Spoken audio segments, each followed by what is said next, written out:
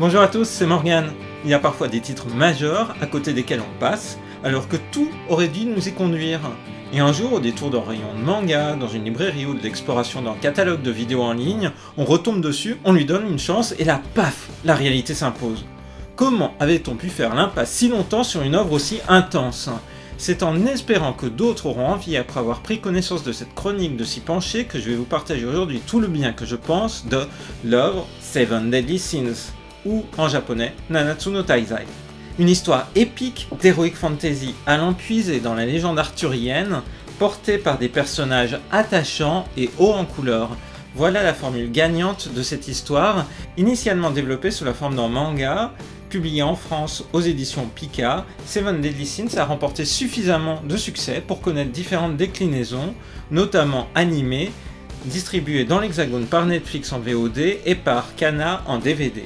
À travers cette vidéo de découverte, je vais d'abord vous parler de son intrigue, puis du contexte de publication, et je terminerai par une synthèse de toutes les qualités que je vois dans cette œuvre. Alors on y va La contrée de Britannia vit depuis une dizaine d'années dans la crainte d'un groupe de sept guerriers qui auraient tenté de renverser le royaume, les Seven Deadly Sins. Ceux-ci ont été mis en déroute, mais nul ne sait s'ils sont encore vivants. Il reste toutefois au moins une personne qui croit en leur existence. Il s'agit de la princesse Elizabeth qui s'est mis en tête de retrouver les Seven Deadly Sins pour l'aider à faire la lumière sur les véritables intentions des chevaliers sacrés de son pays, Lyonesse. Au terme d'un périple épuisant, Elisabeth arrive dans une taverne tenue par un cochon parlant, Hawk, et un jeune garçon à la force exceptionnelle, Meliodas. Celui-ci s'avère, en dépit de son apparence enfantine, l'un des Seven Deadly Sins. Sa rencontre avec Elisabeth ne doit rien au hasard, et il va partir avec elle à la recherche de ses anciens compagnons afin de lever les voiles sur les méfaits des chevaliers sacrés qui, désormais, font régner la terreur sur le royaume. Disons-le tout de suite, si l'intrigue ainsi résumée peut laisser penser que le récit va être assez linéaire, présentant une quête progressive sur les traces des différents Seven Deadly Sins, il n'en est rien, car l'auteur, Nakaba Suzuki, prend assez vite le contre-pied du lecteur jouant avec les rythmes, sachant alterner des moments plus lents et des coups d'accélérateur, le mangaka montre qu'il n'en est pas à sa première œuvre.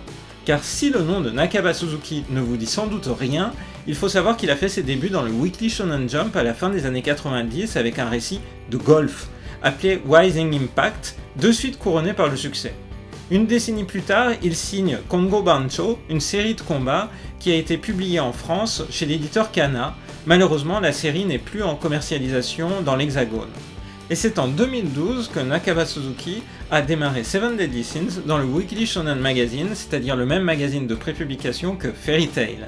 Avec un dessin fouillé, une histoire puisant dans le mythe arthurien, Seven Deadly Sins se distingue rapidement pour devenir l'un des nouveaux piliers du magazine.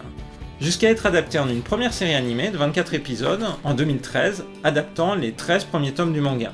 Pour l'anecdote, la réalisation de cette première série a été confiée à Tensai Okamura, un réalisateur sympathique et talentueux que j'avais eu l'occasion d'inviter à Nantes au festival Utopial en 2008. Pour en revenir à Seven Deadly Sins, après une série d'OAV sortie en 2016, c'est en 2018 que la deuxième saison de l'anime a été diffusée au Japon, 24 nouveaux épisodes qui adaptent jusqu'au tome 24 du manga. Sachant que le mangaka écrivait aux alentours du tome 20 qu'il était à la moitié de son histoire et que récemment il a ajouté qu'il allait continuer son manga pendant encore environ un an, on peut imaginer que la série va compter environ 40 tomes et qu'une saison 3 adaptera la fin de l'intrigue en animé. En attendant, Seven Deadly Sins a eu sa première déclinaison cinématographique cet été au Japon, avec un film original sorti dans les salles obscures le 18 août. Seven Deadly Sins est doté de qualités graphiques évidentes, en témoignent le foisonnement et le détail de chaque planche.